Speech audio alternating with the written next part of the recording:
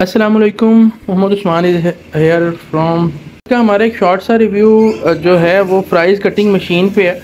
China imported fries cutting machine सबसे पहले इसका एक मैनुअल आ जाता है। उसके बाद ये हैंडल इसका आ जाता है। और ये फिर हमारे पास ये मशीन आ जाती है।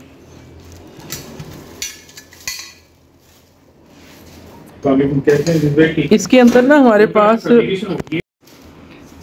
अच्छा ये मशीन आ जाती है और ये हैंग हो जाएगी। हैंग होने के बाद भी इसकी पिक्चर आपको शेयर करता हूँ मैं।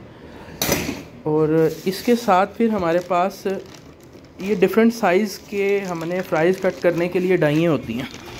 दो डाइज आ जाती हैं। एक आपके पास स्मॉल साइज़ में कट करने के लिए आ जाती है और ये फिर हमारे पास बड़े साइज़ में प्राइस को कट करने के लिए ये फिर आ जाता है, ये साइज़ आ जाता है।